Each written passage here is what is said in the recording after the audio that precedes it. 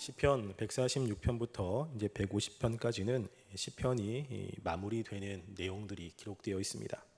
어, 마무리되는 내용은 하나님을 찬양하는 것으로 되어 있습니다. 시편 기자들은 음, 자신의 삶 가운데 역사하신 하나님을 경험했고 그 하나님에 대한 경험을 이 시편에 있는 내용으로 어, 표현을 하고 있습니다. 그래서 시편의 내용은 그냥 생각으로 어, 쓴 것이 아니라 자신의 삶 가운데 역사하신 하나님을 경험을 통해서 알게 된 것을 이야기를 하고 있는 것이죠. 우리도 시편 기자가 믿고 있는 하나님을 똑같이 믿고 있습니다. 그래서 우리가 시편 내용을 통해서 나도 시편 기자가 고백하는 것 같은 고백을 하게 되고 시편 기자가 느끼는 것을 함께 느끼게 되는 것입니다. 시편 기자는 이 땅이 하나님이 계심을 또 하나님이 통치하시는 것이 그의 인생의 가장 큰 찬양 중의 하나였습니다. 그래서 시편 146편 1절과 그리고 마지막에 보면 할렐루야로 시작했다가 할렐루야로 마치는 것을 보게 됩니다.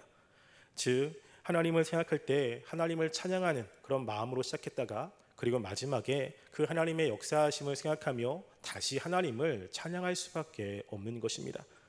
특별히 이 시편 기자는 자기의 영혼과 그리고 자기의 생전 평생 동안 하나님을 찬양할 것을 고백하며 지금 하나님 앞에 이야기를 하고 있는 것이죠.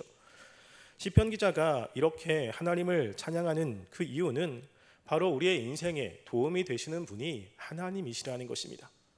우리는 삶을 살다 보면 내 나 혼자의 힘으로 되지 않은 것들이 굉장히 많이 있습니다.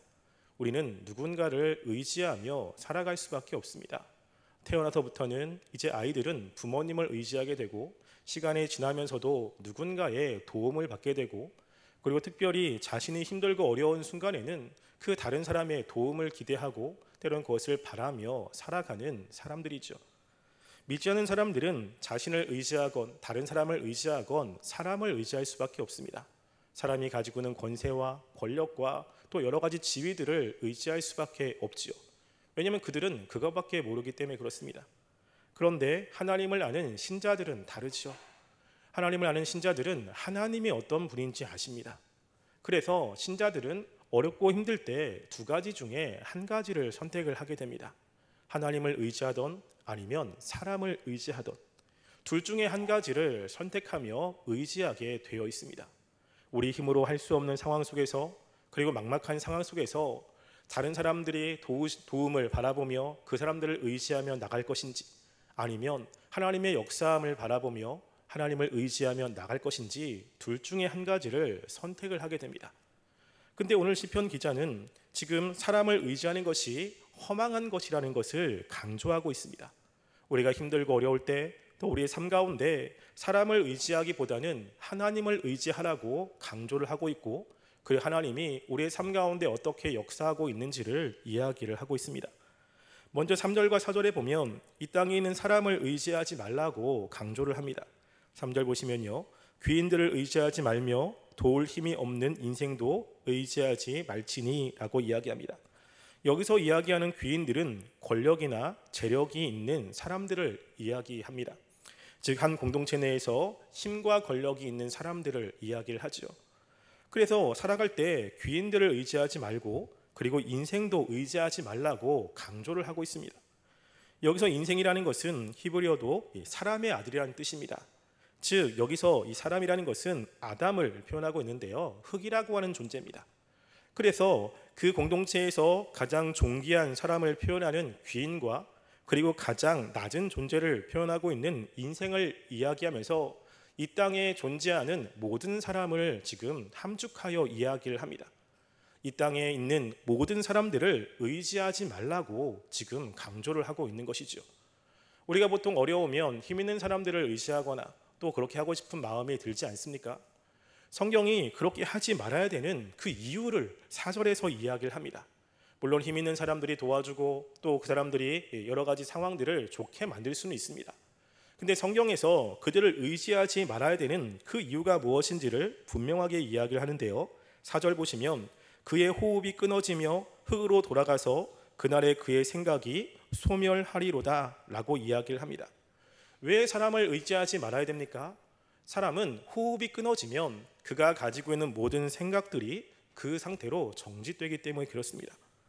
그래서 사람은 유한하기 때문에 그 사람이 살아있는 동안만 다른 사람들에게 좋은 영향을 줄 수 있고 그리고 도와줄 수 있지 그 사람이 죽으면 더 이상 도움을 받을 수가 없기 때문에 그렇습니다. 이런 사상은 이사야에서도 이야기를 합니다. 이사야 2장 22절에 보면 너희는 인생을 의지하지 말라 그의 호흡은 코에 있나니 새말 가치가 어디 있느냐라고 이야기합니다. 인생 즉 사람을 의지하지 말라는 것이죠. 자기의 힘이던 다른 사람의 의미던 왜냐하면 그 사람의 호흡이 끊어지면 더 이상 그 사람의 도움을 받을 수가 없습니다. 나에게 철석같이 약속을 했지만 그 사람이 죽으면 더 이상 그 사람은 나에게 아무런 영향도 주지 못하지 않습니까? 우리가 이 세상을 살아가면서 나는 잘 내 삶을 방어하고 또 안전하게 해서 내가 계획한 대로 잘 살 거라고 장담할 수 있는 사람은 아마 아무도 없을 것입니다. 저도 인생을 오래 살지 않았지만 저도 죽을 고비를 몇 번을 넘겼습니다. 특별히 저는 운전을 나름대로 잘한다고 생각을 했거든요.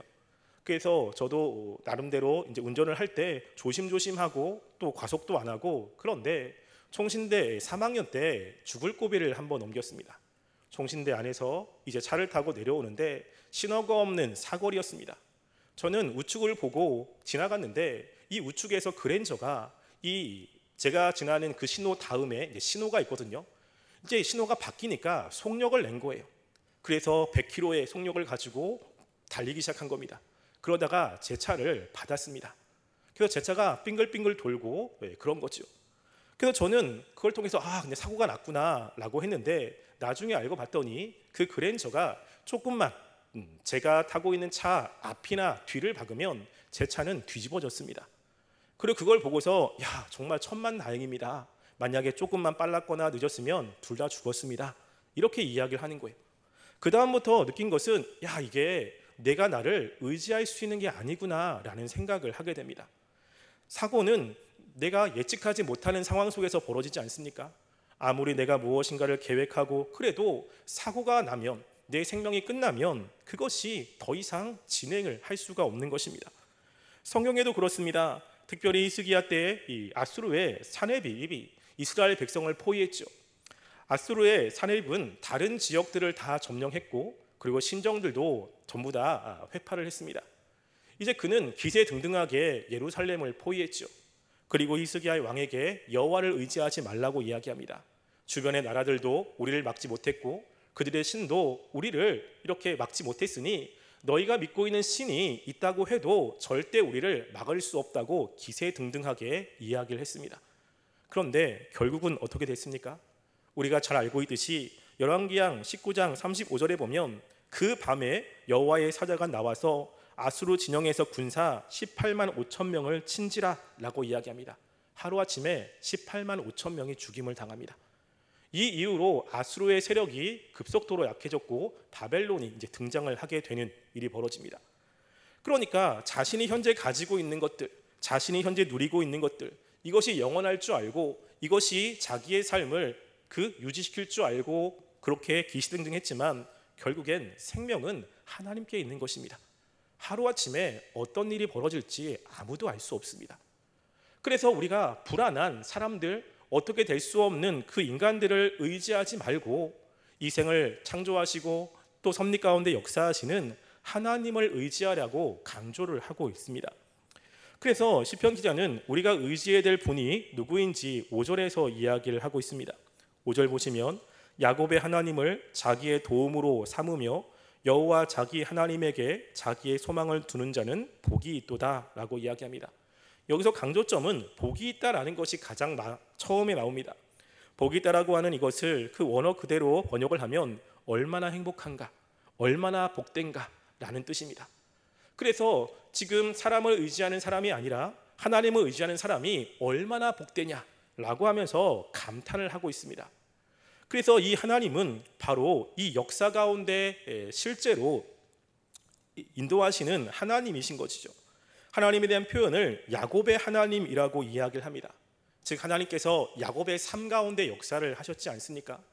그냥 막연한 하나님 그리고 그냥 상상 속의 하나님이 아니라 실제 이 역사 가운데 일하시고 이 역사 가운데 사람을 인도하시고 약속을 지키시는 하나님이심을 분명하게 이야기를 합니다. 그냥 추상적인 하나님이 아니고 구체적으로 역사 속에서 일하시는 하나님이심을 지금 강조를 하고 있는 것입니다. 우리가 믿고 있는 하나님은 이 땅을 만들고 그냥 두시는 하나님이 아니라 실제 역사 속에서 우리의 삶을 이끌어 가시는 하나님이십니다. 그렇기 때문에 그 하나님이 소망이 되고 그 하나님께서 우리의 삶을 인도하신다는 것을 믿고 살아가게 되는 거죠. 그 하나님을 자기의 도움으로 그리고 자기의 소망으로 삼는 자는 복이 있다고 이야기합니다. 도움과 소망은 무엇인가 절망 속에 있을 때 나오는 것 아니겠습니까? 내 힘으로 어떻게 할 수 없는 상황 속에서 누군가의 도움이 필요합니다. 막막한 상황 속에서 소망이 필요하지요. 그러니까 지금 힘들고 어려운 상황 속에서 하나님을 자기의 도움으로 하나님을 의지하며 소망을 갖는 사람들이 복이 있음을 이야기를 합니다.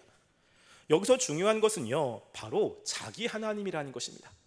하나님이 그렇게 역사 가운데 일하시고 하나님이 약속하신 대로 이 땅을 이끌어 가십니다. 그런데 하나님이 그런데 그 하나님을 우리의 삶 가운데 내 하나님으로 그 삶 가운데 하나님을 바라보지 않습니다. 그냥 성경 안에 있는 하나님, 예전에 예, 구약에 또 신약에 역사하신 하나님이지 내 삶 가운데 내가 의지할 하나님으로 삼지 않는다면 하나님의 은혜를 경험할 수 없다는 것입니다. 시편 가운데 다윗의 굉장히 유명한 시편이 시편 23편이지 않습니까? 거기에 보면 여호와는 나의 목자이십니다. 여호와는 그냥 목자가 아니라 여호와가 나의 목자라는 것이죠. 그 다윗은 여호와를 자기의 목자로 삼으신 겁니다. 삼은 겁니다.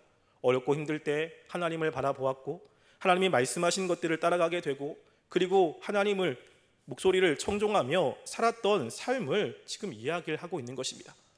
성경에 하나님이 이랬다, 하나님이 저랬다, 또 교회 안에 어떤 사람이 하나님이 이렇게 역사했다라고 듣는 것은 음, 또 중요하긴 하죠. 그런데 그렇게 듣는다고 우리가 그 하나님의 은혜를 경험하는 것은 아니지 않습니까? 실제로 우리가 우리의 삶 가운데 그 하나님을 소망으로 삼고 그 하나님을 나의 도움으로 삼고 어렵고 힘들 때 그 하나님을 바라보아야 하나님이 우리의 삶 가운데 역사하지 않겠습니까? 지금 시편 기자가 그것을 강조하고 있습니다. 야곱의 하나님을 자기의 도움으로 그리고 자기의 소망으로 두는 자는 복이 있다는 것입니다. 우리는 어렵고 힘든 순간에 하나님을 나의 도움과 소망으로 두고 있습니까? 한번 생각해 볼 필요가 있습니다. 우리의 삶 가운데 어렵고 힘든 순간들이 분명히 있을 것입니다. 그럴 때 내가 의지하고 그리고 나의 도움이 되시는 그 분이 하나님이십니까? 아니면 다른 사람들을 바라보게 됩니까? 내 마음은 하나님께 고정되어 있습니까? 아니면 하나님이 아닌 나에게 도움을 줄 만한 사람들 그런 사람들을 바라보며 도움을 청하고 있습니까? 시편 기자는 지금 하나님을 그 자기의 소망과 도움으로 여기라고 이야기를 합니다. 그러면서 하나님께서 실제 역사 가운데 어떻게 역사하는지를 6절부터 9절까지 굉장히 자세하게 이야기를 합니다. 그냥 하나님께서 나의 삶 가운데 역사하시죠. 하나님이 그냥 이 세상을 통치하시죠. 라고 끝나는 것이 아닙니다. 무엇인가 구체화하는 것이 필요하지 않습니까? 하나님께서 이 땅을 다스리는 것은 그냥 막연하게 다스리는 것은 아닙니다. 분명히 하나님께서 매 순간순간마다 하나님이 인도하시는 그런 모습들이 분명히 있기 때문에 그렇죠. 그래서 시편 기자는 열 가지로 하나님께서 이 땅 가운데 행하시는 것을 이야기를 합니다. 특별히 그 영까지는 전부 다 다 분사형으로 되어 있습니다. 분사라는 것은 하나님이 한 번 끝난 것이 아니라 지금도 계속해서 그렇게 역사하고 계심을 강조하고 있는 표현들입니다. 하나님께서 보시면 여호와는 천지와 바다와 그 중의 만물들을 지으셨습니다. 하나님이 이 땅을 지으셨고 그리고 영원히 진실함을 지키시며라고 이야기하죠. 하나님께서는 성실하십니다. 한번 약속하신 것을 계속해서 지금도 지키시는 하나님이심을 이야기를 하고 있죠. 7절에 보시면 억눌린 사람들을 위해 정의로 심판하신다고 이야기를 합니다. 억눌린 사람들은 착취를 당하거나 억압을 당한 사람들입니다. 이렇게 사회에서 탁취를 당하거나 억압을 당하는 사람들을 하나님께서 그 정의로 심판하시는 분이라고 이야기를 하고 있고요. 그리고 그 다음 보시면 줄인 자들에게 먹을 것을 주시는 분입니다. 즉 이 땅 가운데 의식주뿐만이 아니라 이 세상에 존재하는 모든 동식물들의 먹을 것을 지금도 주시고 있는 그 하나님을 이야기를 하고 있고요. 또 갇힌 자들에게 자유를 주십니다. 여기서 갇힌 자는 바로 감옥이나 이런 곳에 얼룩된 사람만을 이야기하는 것이 아니라 어떤 사람 영적으로나 육적으로나 갇힌 상황들입니다. 무엇인가 내가 해결할 수 없는 그 사방이 애워쌈을 당하고 답답한 상황 속에서 그 상황을 이렇게 해서 자유를 주시는 하나님이심을 이야기를 하지요. 또 맹인들의 눈을 여십니다. 이 맹인다는 것은 그냥 문자적으로 눈이 보이지 않는 사람을 의미할 수도 있지만 70인 영에서는요. 주님은 소경에게 지혜를 주신다고 이야기를 합니다. 우리 삶 가운데 어렵고 힘들 때 어떻게 해야 될지 모르는 상황이 있지 않습니까? 지혜가 필요하고 그리고 무엇을 선택해야 될지 모르는 그런 상황 속에서 하나님께서는 소경의 눈을 열으신 것처럼 우리가 무엇을 선택해야 될지 어떻게 가야 될지 하나님께 말씀을 통해서 깨닫게 하시는 일들이 있음을 이야기를 하죠. 하나님은 비굴한 자를 일으키시며 하나님은 의인을 사랑하시며 약한 자를 보호하시며 악인들의 길을 굽게 하시는 분이십니다. 하나님께서는 그냥 성경에서 이야기하는 하나님이 이상을 통치하시지라고 끝나는 것이 아니라 구체적으로 우리의 삶 가운데 개입하십니다. 우리의 삶 그 발자국 발자국마다 하나님께서 인도하시는 그 인도하심들이 우리 가운데 있을 수 있다라고 하는 거죠. 우리의 삶 가운데 이런 것들을 많이 경험하지 않습니까? 하나님의 그 놀라우신 은혜를 경험한 사람들은 하나님께서 여기까지 인도하셨구나 라는 것들을 많이 경험하게 됩니다. 저도 마찬가지입니다. 저도 인생을 오래 살지 않았지만 저희 삶 가운데 어렵고 힘든 순간순간마다 하나님의 인도하심이 분명히 있습니다. 특별히 제가 어, 저희 딸 사랑이를 10년 만에 낳지 않았습니까? 여러 가지 어렵고 힘든데 그 10년 만에 낳은 것도 하나님의 특별한 은혜가 있었습니다. 저는 아이를 포기했지만 저희 집사람이 기도했고 또 여러 가지 주변의 사람들을 통해서 한 번에 하나님께서 아이를 낳게 예, 해주셨거든요. 사랑이가 태어나기 전에 하나님이 저의 마음 가운데 아기를 주실 거라고 하는 확신을 주셨습니다. 그래서 청년부 예배 때 청년들한테 이렇게 이야기했습니다. 봐라, 하나님이 앞으로 아기를 줄 거다 라고 이야기를 했어요. 그렇게 청년부 예배 때 이야기를 하니까 예배를 끝나고서 청년부 아이들이 저한테 우르르 온 겁니다. 아니 목사님 그렇게 얘기하고 아기가 태어나지 않으면 어떻게 합니까? 막 걱정을 해주는 거예요. 예. 근데 제 마음 가운데 하나님이 분명히 주시는 확신이 있었거든요. 실제로 그렇게 하나님이 아이를 주셨고 그리고 저희 형편에 맞게 아이가 태어나게 되고 이런 것들을 많이 경험하게 됩니다.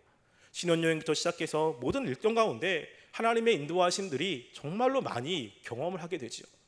하나님은 그냥 성경 안에 계신 하나님이 아니라 지금도 우리의 삶 가운데 역사하시는 하나님이라시는 겁니다. 그 하나님이 우리에게 소망이 되는 것이죠.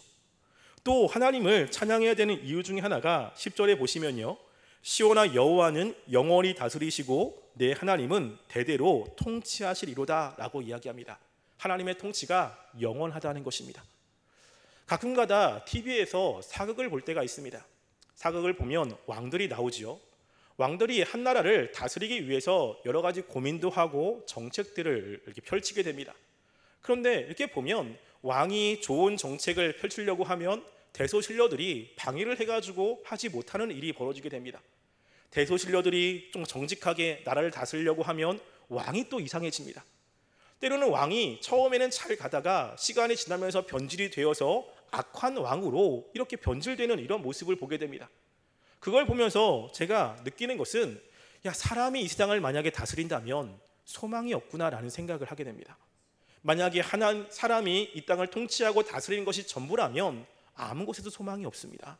시간이 지나면 변질되게 되고 그리고 이 땅은 억압과 그리고 부정과 부패가 난무하게 되고 힘 있는 사람이 힘이 없는 사람을 착취하게 되고 소망이 없게 되는 거죠. 그런데 하나님이 이 땅을 통치하시는 것이 얼마나 위로가 되는지 모릅니다. 그 권력 있는 사람들 위에 하나님이 계시고 하나님께서 하나님의 방법으로 이 땅을 통치하시고 역사하신다는 것이 굉장한 희망이 되고 소망이 됩니다.